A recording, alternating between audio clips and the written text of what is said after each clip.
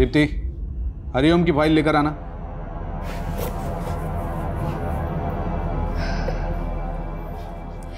Sir मैंने ये case पढ़ा है। क्लाइंट से बात भी की है। ये उतना बड़ा केस नहीं है छोटा मोटा फ्रॉड का केस है। अच्छा।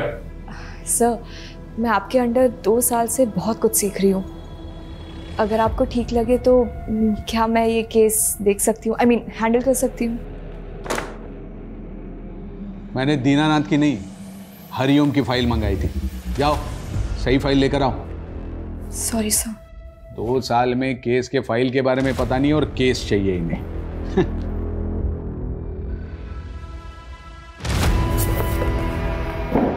लॉ की पढ़ाई करना कोई काम ही नहीं है। बस टाइपिंग करना आना चाहिए तुम्हें। और क्या? इसी के तो पैसे कमा रही हूँ है ना मैं? इस इंसान को ना मैं छोड़ूँगी नहीं। देखना इसको अगर छोड़ दिया ना मेरा भी नाम दीप्ति नहीं है। बताती हूँ मैं इसको। अरे दीप्ति बेटा इतना गुस्सा लैपटॉप पे? गुस्सा ना पापा मैं अपने सीनियर्स पे निकालूँगी। दीनानाथ की फाइलें मंगवाई थी उसने पर एंड मौके में मुझे नीचा दिखाने के लिए झूठ बोल दिया।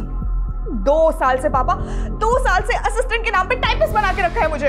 अरे बेटा मैं तो कहती हूँ कि ऐसी नौकरी को लात मार दो। और वैसे भी शादी के बाद कौन सा तुम्हें नौकरी करना है? घर पे ही तो रहना है। मम्मा। हाँ जैसे ये आपके साहबजादे पूरा दिन घर में पड़े पड़े मोबाइल से दुश्मनी निकालते हैं। अरे आप घूम फिर के हमारे पीछे क्यों पड़ जाते हैं? पापा हमारे पास ना एक बहुत बढ़िया बिज़नेस प्लान है। बस एक बार फाइनेंसर मिल जाए। कुल पाँच लाख रुपए की ज़रूरत है। अरे एक ख्याली पुलाव से बाहर निकलो और कुछ काम धंधा करो। समझ में आया? आप लेकिन इसके साथ हमेशा ऐसे क्यों करते हैं? हाँ? जब देखो इसके पीछे पड़ जाते हैं।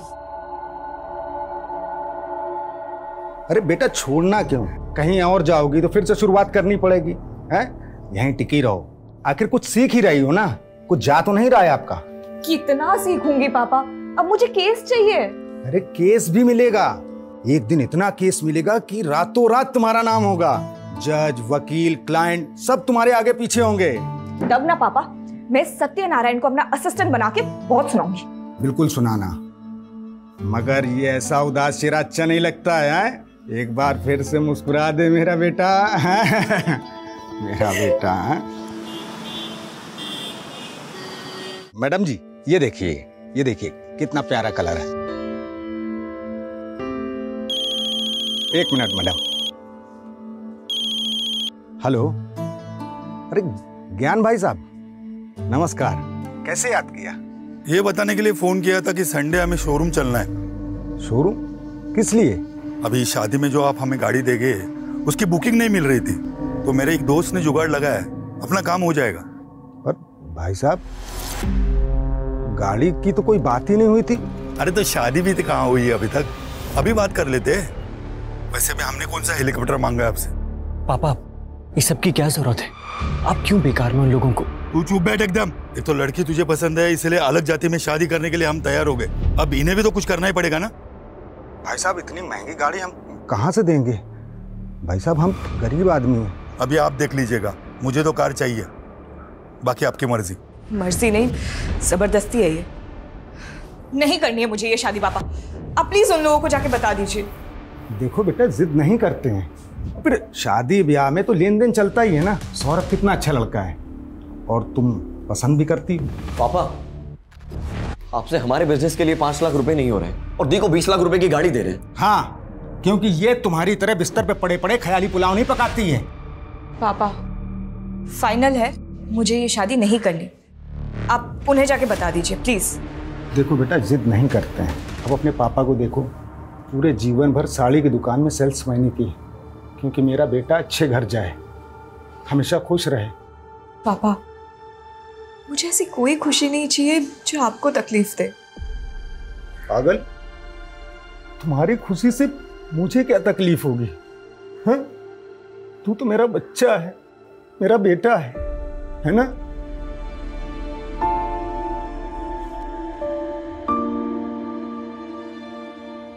डॉक्टर छह साल हो गए हमारी शादी को और एक साल से तो आपके चक्कर काट रहे फिर भी बच्चा नहीं हुआ। आप ट्रीटमेंट करवाइए। और भगवान पे भरोसा रखिए। सब अच्छा होगा।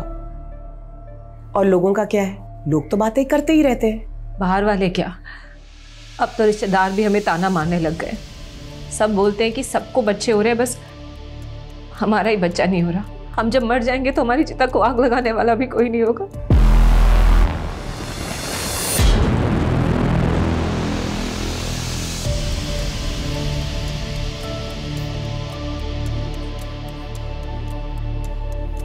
सुनिए। आपको डॉक्टर स्मिता ने जवाब नहीं दिया ना? देंगे भी कैसे? जिसका इलाज उसके हाथ में है उसमें डॉक्टर कर भी क्या सकता है? अगर आप दोनों को भगवान में आस्था है तो मैं आपकी मदद कर सकती हूँ। पहले भी बहुत लोगों की कर चुकी हूँ। कैसी मदद? आप लोगों को बच्चा ही चाहिए ना? चारों तरफ़ भय का माहौल है। लखनऊ में जनता सड़क ही नहीं, घर में भी असुरक्षित है। पता नहीं कब, कहाँ से आकर वो हत्यारा उन्हें अपना शिकार बना ले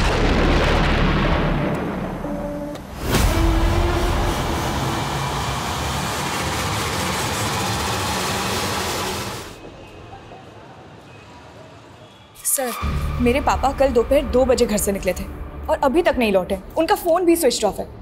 हमने हमारे रिश्तेदारों से उनके दोस्तों से वो जहाँ काम करते हैं वहाँ भी हर जगह पता किया पर वो कहीं नहीं मिले। मुझे उनके लिए बहुत डर लग रहा है सर। अभी तो चौबीस घंटे हुए नहीं है। आप एक काम कीजिए चौबीस घंटे के बाद आइए। सर मेरा नाम एडवोकेट दीप्ति वर्मा है। अगर आपके इस 24 घंटे की टाइमलाइन के चलते मेरे पापा को कुछ हुआ ना तो याद रखिए आपको इसका जवाब कोर्ट में देना होगा। देखिए चौबीस घंटे के पहले मिसिंग कंप्लेंट लेना बनता तो नहीं है लेकिन फिर भी मैं लिख लेता हूँ।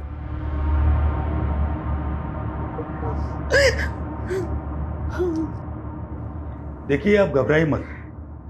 अवतार भाई सब जल्दी आ जाएँगे।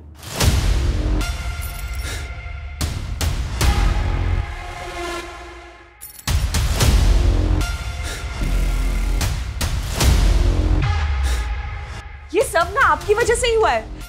आपके कार की डिमांड की वजह से पापा कितना परेशान रहते थे।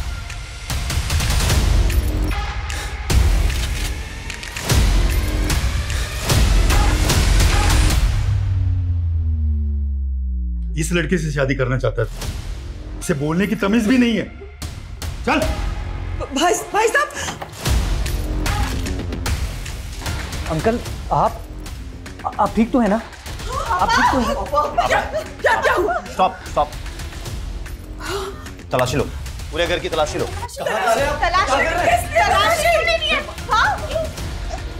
पापा को पापा को क्या हुआ? है मैडम रुक जाइए आप। शांति रखिए। आप सबको पता चल जाएगा।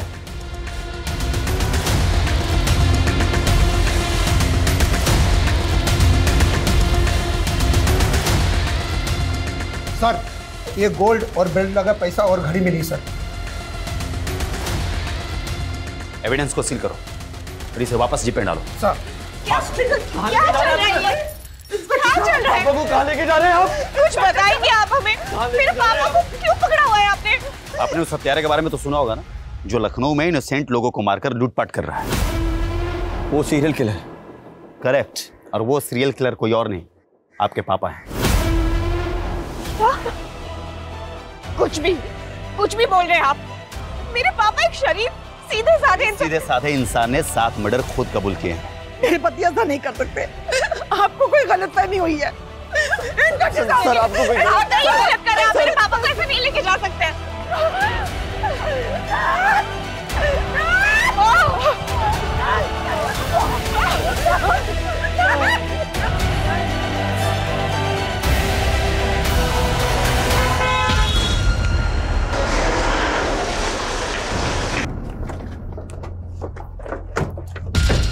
ध्यान से देखिए, ये है वो दरिंदा जिसने सात मासूम लोगों की हत्या की है।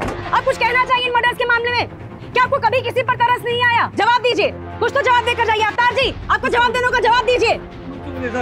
ध्यान से देखिए सारी की दुकान में काम करने वाला इतना साधारण सा दिखने वाला आदमी सात मासूम लोगों का हत्यारा है। मेरे पापा जो किसी से ऊँची आवाज़ में बात तक नहीं करते आपने उन्हें सीरियल किलर बना दिया। बनाया नहीं है। उन्होंने अपना जुर्म खुद कबूल किया है और खुद सबूत भी बरामद करवाया कबूल नहीं किया करवाया गया है। टॉर्चर करके। सब प्लीज़ आप मैंने ये केस बारीकी से पढ़ा है। सारे सबूत तुम्हारे पापा के खिलाफ है और उन्होंने कन्फेशन भी दिया है। कोई चांस नहीं है। सब मेरी बात सुनिए ये पूरा केस ही झूठा है। यहाँ पुलिस फाउल प्ले का मैं ये केस नहीं लड़ सकता।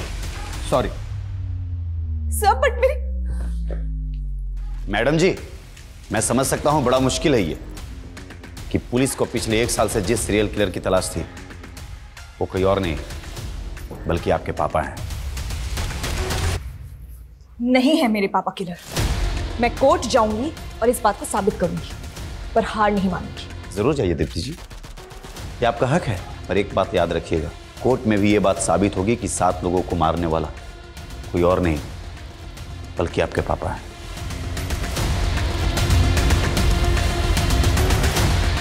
दीप्ति जी क्या आपको कभी एहसास हुआ कि आपके पापा एक सीरियल किलर हैं जिन्होंने इतने लोगों की हत्या करी है क्या आपको कभी उनसे डर लगा।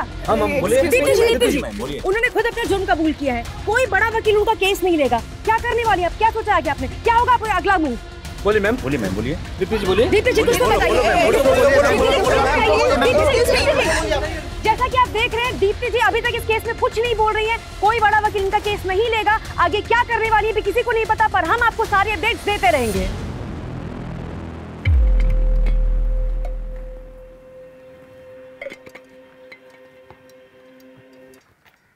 योर ऑनर पुलिस ने मेरे पिता अवतार वर्मा को 8 अगस्त 2022 को किडनैप किया टॉर्चर किया और ज़बरदस्ती उनसे वो जुर्म कबूल करवाए जो उन्होंने किए ही नहीं थे। ऑब्जेक्शन माय लॉर्ड ये बिना किसी पुख्ता सबूत के पुलिस पर इल्ज़ाम लगा रही है जैसे पुलिस कोई किडनैपिंग गैंग चला रही है। मिस दीप्ति आपने अपने पिता की मिसिंग कंप्लेंट लिखवाई थी? ये है मेरे पिता की मिसिंग कंप्लेंट की कॉपी जो हमने लिखवाई थी। बावजूद इसके पुलिस ने हमें दो दिन तक कुछ इन्फॉर्म नहीं किया। कैसे इन्फॉर्म करता योर ऑनर अक्यूज ने दो दिन तक मुँह ही नहीं खोला। कौन है कहाँ रहता है क्या करता है? दो दिन तक वो मेरे पिता से उनका नाम पता ये सब जानने के लिए उन्हें टॉर्चर करते रहे। जब पुलिस मेरे पिता को घर पे लेके आई थी तो उनकी क्या हालत थी? वो अपने पैरों पे चल भी नहीं पा रहे थे। कौन है आपका गवाह? माय लॉर्ड मैं कोर्ट को उनकी लिस्ट दूँगी। पेशी करवाऊँगी उनकी। दीप्ति जी कोर्ट में मनगढ़ंत कहानियाँ नहीं सबूत चलते हैं जो अवतार वर्मा के खिलाफ पुलिस के पास और जो कोर्ट में पेश किए गए हैं। कौन से सबूत?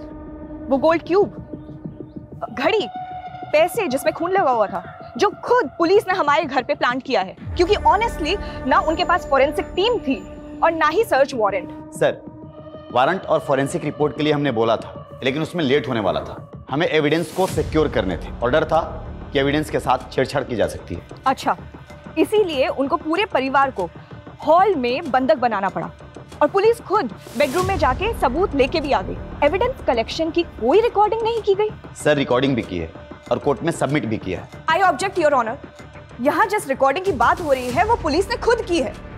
किसी ऑथराइज्ड वीडियोग्राफर के थ्रू नहीं हुई है। वाह दीप्ति जी वाह। कभी आप कहती है कि रिकॉर्डिंग हुई नहीं है। फिर आप कहती है कि पुलिस ने रिकॉर्डिंग कर ली है। ऑथराइज वीडियोग्राफर ने रिकॉर्डिंग नहीं की। आपका ऑब्जेक्शन किस बात पे है? वीडियो की क्वालिटी पे? क्या अच्छा नहीं दिख रहा है। दीप्ति जी अगर हम मान भी ले कि आपके पिता इनोसेंट हैं फिर भी पुलिस के पास क्या कारण है कि वो उन्हें झूठे केस में फंसाएगी? अपने रेपुटेशन को बचाने के लिए। हम सबको पता है पिछले एक साल से पुलिस किलर को नहीं पकड़ पाई है। फिर अचानक एक दिन उन्होंने मेरे पापा को पकड़ा और जेल में डाल दिया जबकि एक्चुअली सीरियल किलर अभी तक बाहर घूम रहा है। सात लोगों का मर्डर हुआ है। सच का जानना ज़रूरी है जो पुलिस इन्वेस्टिगेशन में सामने नहीं आ पाया है। ये कोर्ट ऑर्डर देती है कि इस केस की जाँच क्राइम ब्रांच से करवाई जाए ताकि सच जनता के सामने आ सके। कोर्ट डिसमिस्ड पुलिस की साख जो पहले से दाव पर थी कोर्ट के फैसले से उसे बड़ा झटका लगा है। सीरियल किलर केस जाँच में गड़बड़ी के आरोप के बाद केस क्राइम ब्रांच को सौंप दिया गया है। इस उम्मीद के साथ कि सच सामने आएगा। जो किलर पिछले एक साल से पूरे शहर के लिए खौफ बना हुआ था। पुलिस की नींद उड़ाई हुई थी। किशन और अनीता के मर्डर के दो घंटे बाद ही इतनी आसानी से उसको अरेस्ट कर लिया तुमने। कैसे? आसानी से नहीं सर। पिछले एक साल से दिन रात एक कर रखा था हमने। फिर उस दिन जब मुझे डबल मर्डर की खबर मिली मैं फ़ौरन क्राइम सीन के लिए निकला। रास्ते में मुझे अवतार दिखाई दिया बहुत ही अजीब बिहेव कर रहा था वो। विदेश विदेश गाड़ी रोक गाड़ी रोक गाड़ी रोक।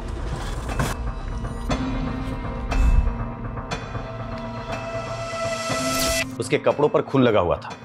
हम उसे पूछताछ के लिए पुलिस स्टेशन ले गए, जहाँ उसने कबूल किया कि मर्डर्स उसने ही किए और उसने मुझे यह भी बताया कि मर्डर वेपन कहाँ छुपाए हुए हैं। उसके बाद उसने इसके पहले पाँच मर्डर भी एक के बाद एक कबूल किए। फिर उसके बाद हमने उसके घर की तलाशी ली, जहाँ और भी सबूत मिले। सर, हमने जब इन केसेस के सबूत और गवाहों को क्रॉस वेरीफाई किया तो सब मैच कर रहे थे। किशन और अनिता के घर से जो लूट हुई थी वो सारा सामान मिला? उसने सिर्फ़ ये बताया कि उसने गहने चुराए थे तो वो अभी भागते वक्त कहीं रास्ते में गिर गए। पर उनके घर से तो अच्छी खासी लूट हुई थी और उसने सिर्फ़ गहने कबूल किए और तुमने बड़ी आसानी से उस पर यकीन कर लिया। उसने बाकी की चोरी कबूल नहीं की लेकिन सात मर्डर्स कबूल कर लिए। सर उसने जो मुझे बताया मैं आपको वही बता रहा हूँ। मतलब ना तुम्हारे पास कोई पुख्ता सबूत है ना गवाह ना मर्डर्स का और ना ही अवतार की गिरफ्तारी का। सर आप मुझ पर शक कर रहे हैं। शक नहीं कर रहा हूँ। फैक्ट बता रहा हूँ।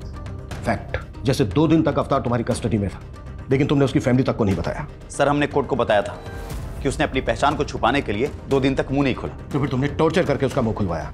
आप भी पुलिस डिपार्टमेंट से हैं। जानते होंगे सात मर्डर करने वाला क्रिमिनल प्यार से तो मुँह खोलेगा नहीं। तो कुल मिलाकर तुम ये एक्सेप्ट कर रहे हो कि उसने कबूल किया नहीं। तुमने उससे कबूल करवाया। सर इस केस के फ़ाइल आपके पास है। आप देख सकते हैं। अरविंद आखिरी बार पूछ रहा हूँ। इन्वेस्टिगेशन में कोई गड़बड़ी हुई है? कोई फॉल प्ले नो सर अवतार ही वो सीरियल किलर है जिसे हम पिछले एक साल से तलाश कर रहे थे जो बहुत मुश्किल से पकड़ा गया है। सर मैं तो अपनी बेटी दीप्ति की शादी के लिए पैसों का इंतज़ाम ना हो पाने की वजह से परेशान था। अरे भाई साहब ये पुराना सोना है। मेरी मजबूरी है इसलिए हम इसको बेच रहे हैं। अगर थोड़ा बहुत और ज़्यादा हो जाए तो देख लीजिए आप। नहीं इससे ज़्यादा नहीं हो सकता। सर मैं भाग नहीं रहा था। मैं तो परेशान होकर रोड के किनारे बैठा था। तभी इंस्पेक्टर साहब की गाड़ी वहाँ के रुकी हेलो? यहाँ क्या कर रहा है? कुछ नहीं साहब वो थक गए थे तो बैठ गए यहाँ पे। घर किधर है तुम्हारा? साहब यहीं पास में है आगे। चल बैठ गाड़ी में। मैं भी उधर ही जा रहा हूँ। छोड़ देता हूँ तुम यही अरविंद का कहना है कि जब उन्होंने आपको पकड़ा तो आपके कपड़ों पर खून लगा था। किशन और अनीता के खून से सने वो कपड़े उन्होंने हमें दिए हैं। तो मेरे खून कहाँ से आया? सर, ये तो हमें नहीं मालूम, सर। वो मुझे पकड़ के थाने ले गए और वहाँ उन्होंने हमारे सारे कपड़े उतरवा दिए। और साहब, दो दिन तक हमारे साथ मारपीट करते रहे। बोले कि मैं जो कहता हूँ वो कबूल करो। अगर मैं कबूल नहीं करता तो सच में वो मुझे जान से मार देते साहब। किशन और अनीता के मर्डर के अलावा आपने पाँच और मर्डर कन्फेंस किए ये तो मुझे पता भी नहीं था साहब। वो जहाँ बोलते गए मैं साइन करता गया। मुझे नहीं पता था कि वो मुझे सीरियल किलर बना देंगे साहब और फिर वहाँ से वो मुझे मेरे घर ले गए। अंदर से वो घड़ी सोना और रुपए निकाल के लाए। और साहब मुझे झूठे केस में फंसा दिया। लेकिन वो ऐसे क्यों फंसाएँगे? उनकी कोई दुश्मनी है आपके साथ? साहब मेरी किसी से दुश्मनी क्यों होगी? मैं तो एक साड़ी की दुकान में मामूली सा सेल्समैन हूँ। मैंने जीवन में कभी चूहे नहीं मारे। और मैं सात खून क्यों करूँगा साहब? मैं क्यों करूँगा सात खून मेरी वजह से मेरी बेटी की शादी टूट गई साहब। इससे ज़्यादा बुरा क्या होगा साहब? इससे ज़्यादा मेरे लिए और क्या बुरा होगा? घबराइए मत। अगर आप सचमुच निर्दोष हैं कुछ नहीं होगा आपके साथ। हम बारीकी से जाँच करेंगे। एक तरफ़ तुम कह रहे हो कि तुमने ठीक से कुछ देखा नहीं अंधेरा था ऐसा था वैसा था। इसके बावजूद तुमने पुलिस को बयान दे दिया कि तुमने अवतार को किरण का मर्डर करके उसके घर से भागते हुए देखा। क्यों? सर मैंने उसे मर्डर करते हुए नहीं देखा था। मैंने बस किसी को भागते हुए देखा था। और ये बात मैंने जब किरण का मर्डर हुआ तो पुलिस को बताई थी। उन्होंने मुझे एक फ़ोटो दिखाई और बताया कि तुमने जिस आदमी को देखा वो यही था। मुझे लगा अच्छा है पकड़ा गया। तुमने अपने भाई के किलर को देखा था? जी सर। ये ये वो। हो सकता है सर क्योंकि उस दिन मैं दुकान बंद कर रहा था और भैया गलियों में आगे निकल गए थे। और जैसे मैंने उनकी चीखें सुनी पीछे मुड़ के देखा तो एक आदमी भागता हुआ जा रहा था। ये घड़ी तुम्हारे भाई की है? हाँ सर। पक्का है इसमें भी डाउट है? ऐसी दिखती थी शायद सर। शायद। ये गोल्ड क्यूब तुमने बनाई है? हाँ नहीं मतलब मैं ज्वेलर हूँ तो ये तो काम है सर मेरा। गोल्ड क्यूब बनाने का हाँ गोल्ड का मतलब गहने। विकास ऐसे नहीं बोले गए। इसकी भी क्यूब बनानी पड़ेगी। अरे न- न- नहीं नहीं सर मैं, मैं, बताता हूँ। ये म- म- मैं नहीं बनाई थी सर। किसके कहने पर? वो याद नहीं है सर। अच्छे से याद करके बता। इसके कहने पर? नहीं। इसके कहने पर नहीं तो किसके कहने पर बनाई? और फिर झूठा बयान कर दिया पुलिस को कि इसके कहने पर बनाई है? अरे सर। अरे सर। ये क्यों पुलिस ने ही बनवाई थी सर? और झूठा बयान भी पुलिस ने ही दिलवाया था। चल। क्या हो गया सर? चल चल बता अरे अरे सर मैंने कुछ नहीं किया सर। अरे समझो सर बात को सर। मेरे करियर में यह पहली बार था कि हम अपने ही डिपार्टमेंट के अपने ही साथी की इन्वेस्टिगेशन का सच पता कर रहे थे। लेकिन लगातार पड़ला अवतार की तरफ़ झुकता जा रहा था। बावजूद इसके जाँच में अभी तक सब कुछ 50-50 था।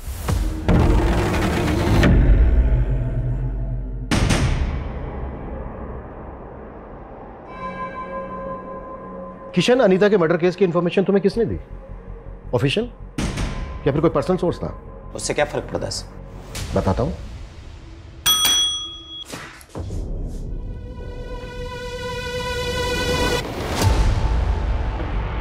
पहचानते हो उसे मिथिलेश कुमार, पुलिस ड्राइवर इसने पुलिस को इन्फॉर्म करने के बजाय अपने पर्सनल नंबर से तुम्हारे पर्सनल नंबर पर कॉल करके मर्डर की इंफॉर्मेशन दी। मिथिलेश कुमार, उर्फ़ तुम्हारा ड्राइवर मिथिलेश कुमार, उर्फ़ विक्टिम अनीता का मुँह बोला भाई।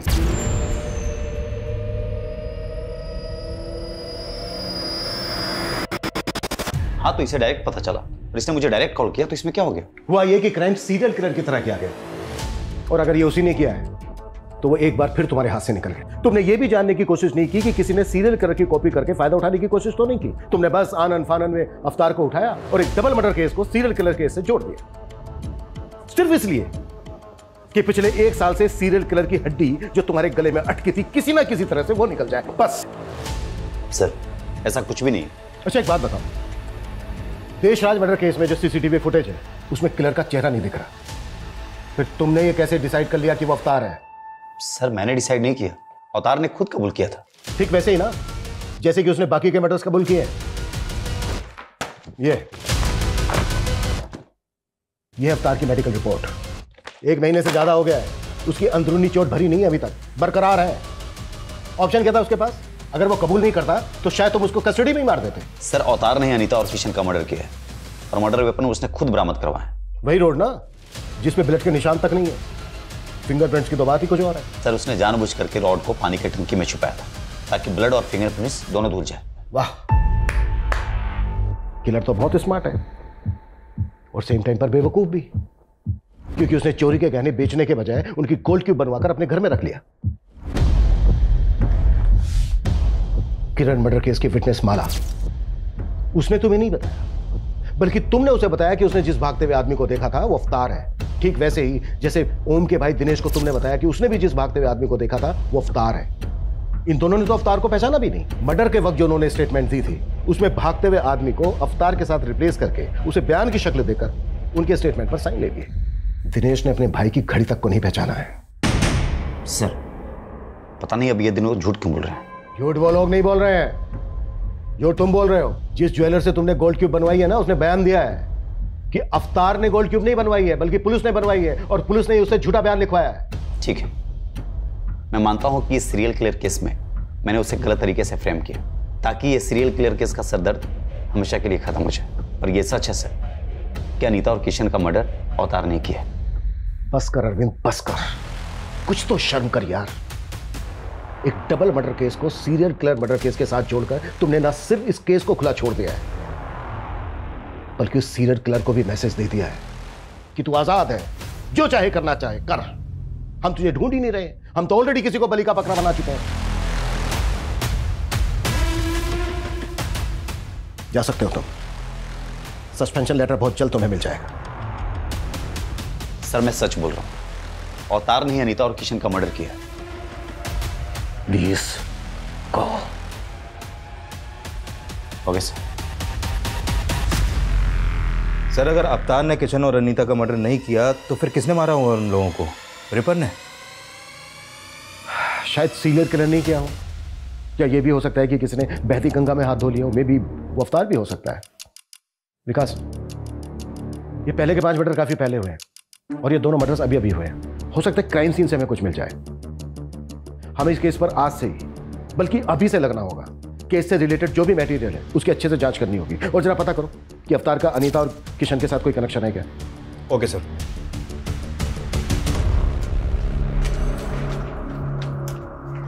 गर्मा गर्म पकौड़े। ओह वाओ नो हाथ गंदे है ना? पहले हाथ धो लो।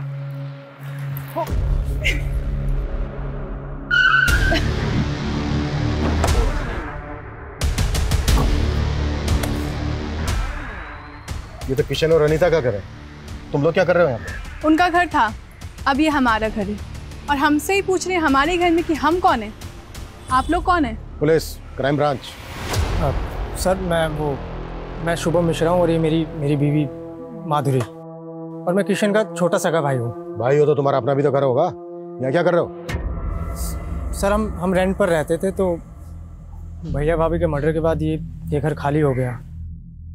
और वैसे भी कुछ टाइम पहले तक हम यहीं रहते थे। तो फिर यहाँ से खाली करके गए क्यों? खाली किया नहीं था करवाया था। जब तक वो लोग दुबई में थे तब तक हमसे रखवाली करवाई इस घर की। और जैसे ही वापस आ गए लात मार के निकाल दिया हमें। और वैसे भी सर अब तो ये घर खंडहर ही होता ना। उससे बेहतर है ना कि हम लोग यहाँ रह रहे हैं। कम से कम घर की देखभाल हो जा रही है।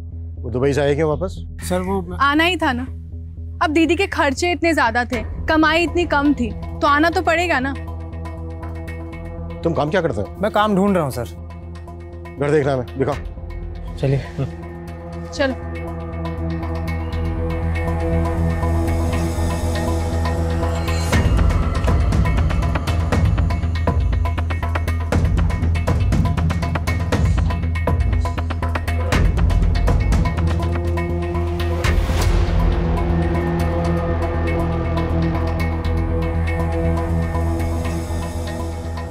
बॉडीज को तुम लोगों ने पहले देखा था। जी। क्या टाइम हुआ था तब? यही कुछ साढ़े ग्यारह के आसपास का। रात के साढ़े ग्यारह बजे तुम लोग यहाँ क्या करने आए थे? जी हम यहाँ नहीं आए थे। हम लोग हम लोग खाना खाकर टहलने के लिए निकले थे। तो देखा कि दरवाज़ा खुला हुआ है तो मैंने सोचा अंदर चल कर देखता हूँ। किशन और अनीता की किसी के साथ कोई दुश्मनी थी? उनकी किसी से क्या दुश्मनी होगी?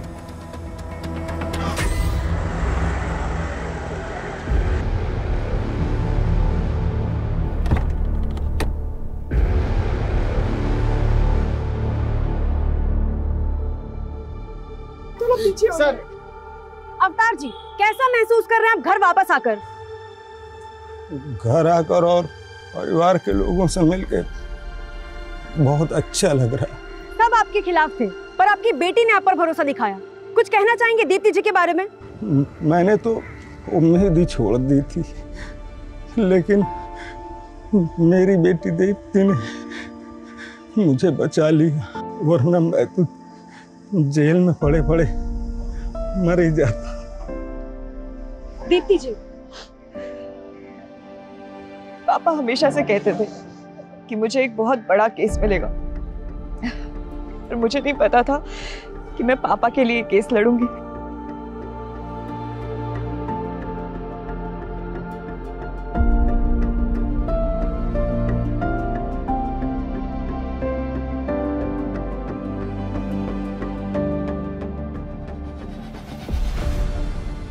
बेटा। सारी ज़िंदगी तेरे पापा ने तेरे लिए संघर्ष किया। लेकिन आज आज तूने उनका कर्ज चुका दिया बेटा। नहीं माँ मैं मर भी जाऊँ ना तो पापा का कर्ज कभी नहीं चुका सकते।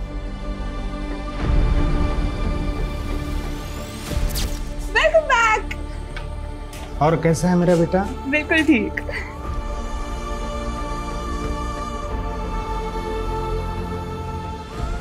आज आने में आपने कुछ ज़्यादा देर नहीं कर दिया? हाँ कुछ आज एक्स्ट्रा काम था इसलिए थोड़ा लेट हो गया। वैसे पापा सैटरडे संडे को आपको ऐसा क्या काम होता है? बेटा वही काम बेटा जिससे कुछ एक्स्ट्रा पैसे आ सके ताकि हम आपको एक बड़ा वकील बना सकें। सर ये किशन का भाई शुभम और उसकी पत्नी कुछ टेढ़ी खीर नहीं लग रहा है? टेढ़ी कीर तो है। इन दोनों पति पत्नी के बारे में पता करो। ओके सर एक बात मुझे बहुत परेशान कर रही है। क्या सर? अगर अवतार सीरियल किलर नहीं है तो इसका मतलब यह है कि सीरियल किलर अभी भी आज़ाद घूम रहा है और वो किसी और को भी अपना अगला शिकार बना सकता है।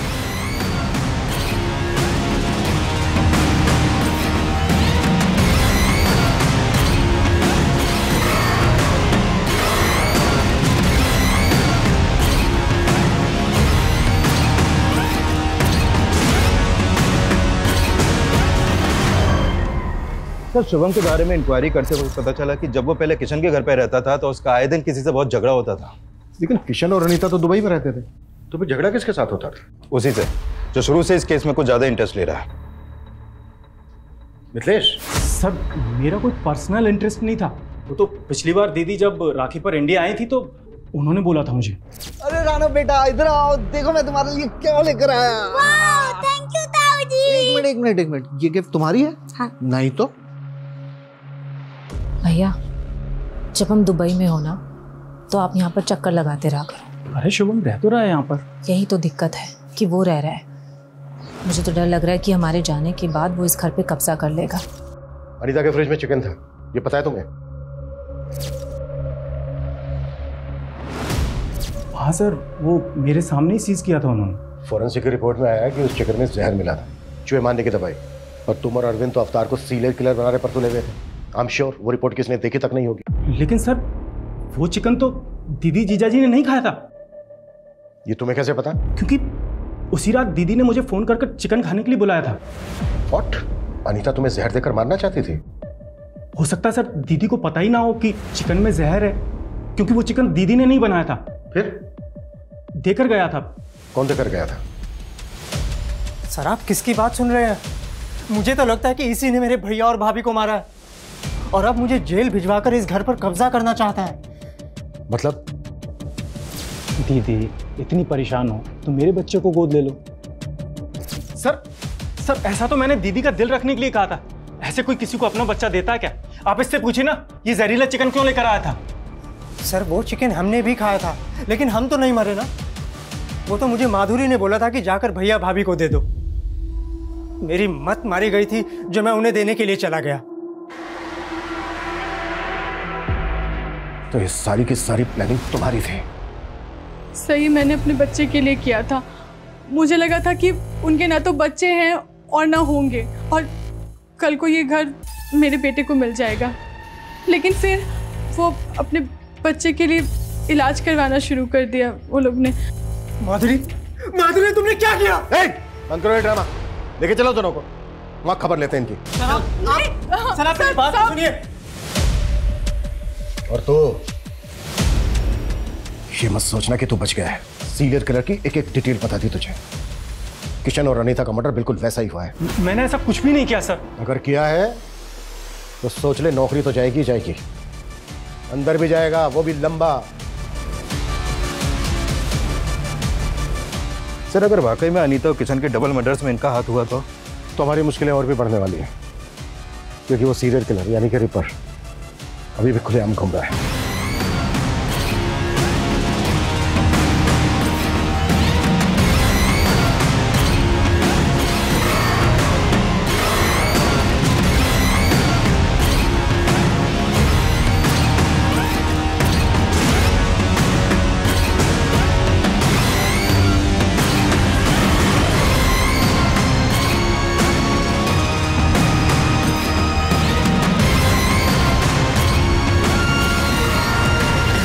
शुभम और माधुरी के पास मर्डर का मोटिव है और उस रात की इनकी एक्टिविटी से भी लग रहा है कि ये लोग मर्डर कर सकते हैं। लेकिन अभी तक इस बात पर अड़े हुए हैं कि इनका इस मर्डर में कोई हाथ नहीं है। शुभम और माधुरी तो सस्पेक्ट हैं लेकिन हमें मिथिलेश को भी ध्यान में रखना होगा। एक बात मेरी समझ में नहीं आ रही है कि उन्होंने एक रैंडम आदमी अवतार को ही क्यों अरेस्ट किया? सर अवतार के बारे में कुछ और भी बातें पता चली हैं। ये बात सही है कि एक सिंपल सा आदमी है साड़ी की दुकान में एक सेल्समैन है। लेकिन सर इसके अलावा ये सात आठ साल पहले थिएटर भी करता था। एक्टिंग का शौक था सर सैटरडे संडे इसके शो भी होते थे। लेकिन सर ये एक्टिंग में कुछ खास अच्छा नहीं था। इसलिए एक्स्ट्रा अर्निंग के लिए मेकअप आर्टिस्ट बन गया। इसके थिएटर के दोस्तों का कहना है कि मेकअप बहुत अच्छा करता था। कोई भी गेटअप ले सकता था। अलग अलग भेज बदलने में माहिर था ये।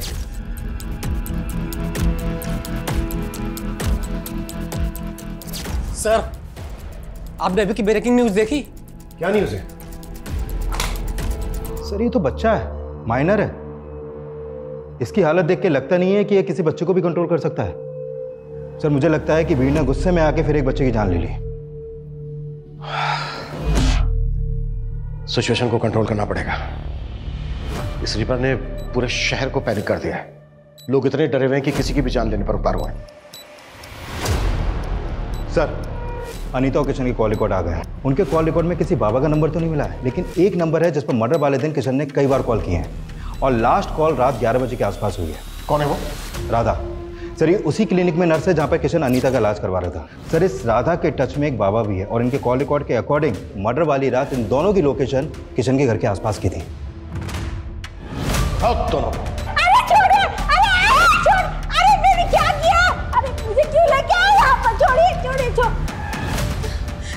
मुझे यहाँ क्यों लेके आए मैंने क्या किया है? सब पता चल जाएगा। उधर देखो। मुकेश! गुड। काफ़ी समझदार हो तुम। अब डायरेक्टली पूछ रहा हूँ। मार खा के बोलोगे या फिर बिना मार खाए? बोलो!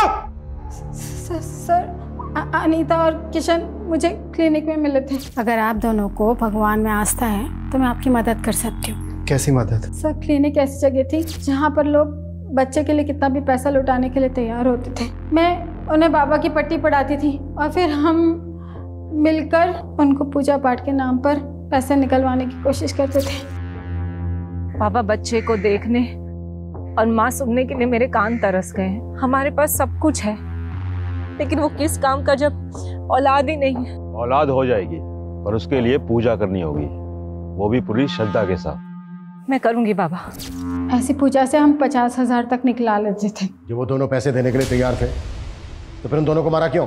हमने उन्हें नहीं मारा सर। ड्रामा मत करो क्योंकि ये पता चल चुका है हमें तुम दोनों गए थे वहाँ पर। हम वहाँ पर सिर्फ़ पूजा करने के लिए गए थे सर। हमारे पहुँचने से पहले वहाँ पर कांड हो चुका था सर। हमने सिर्फ़ चोरी की है। किसी को मारा नहीं है सर। चोरी का सामान कहाँ है? सर, सर हमारे पास है हम दे देंगे हम सब दे देंगे सर। पता ही ज़्यादा कीमती है।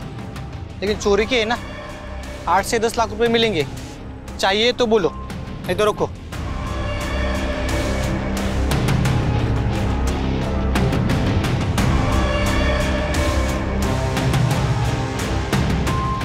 सर खबरी ने टिप दिया अनीता की सोने की चूड़ियाँ चोर बाज़ार में बेची गई हैं।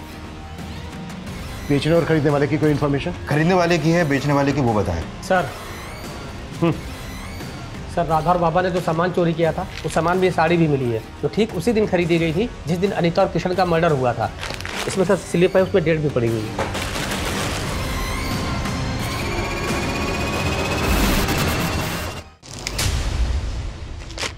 हाँ सर ये साड़ी हमारी दुकान से खरीदी गई है। लेकिन इसका फॉल लगाने के बाद घर भेजनी थी। इसलिए उस दिन दुकान बंद होने के बाद हमने भेजी थी। दुकान कब बंद होती है आपकी? दुकान नौ बजे बंद हो जाती है साहब लेकिन सब समेटते समेटते दस बज जाते हैं। इस साड़ी को देने कौन गया था?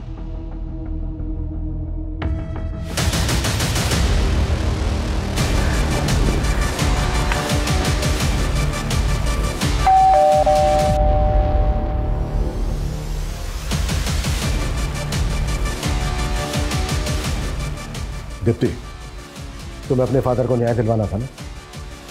मिल जाएगा। मतलब?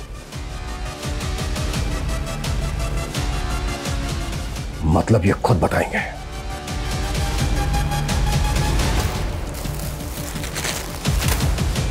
ये है ना वो साड़ी जो तू अनीता को डिलीवर करने उसके घर गया था। और जब हमने तेरे से पूछा कि किशन और अनीता को जानता है क्या तो क्या बोला तूने? कि तूने उनको कभी देखा नहीं। इतनी कमज़ोर याददाश्त है तेरी। देखिए आप मुझे फंसा रहे हैं। मैं मीडिया में जाके बोलूँगा कि आप लोग मुझे ज़बरदस्ती अभी बाहर मीडिया से जाकर मैंने बोल दिया ना कि ये सारी की सारी प्लानिंग तेरी बेटी की थी। तो जितना टाइम लगा है ना उसे अपना नाम बनाने में उससे कहीं कम टाइम लगेगा उसका नाम खत्म होने में। अब बोल अकेले जेल जाएगा। या फिर अपनी बेटी के साथ। दीप्ति दीप्ति मेरी बेटी मेरा मेरी जान है। उसके लिए एक बड़े घर का रिश्ता आया।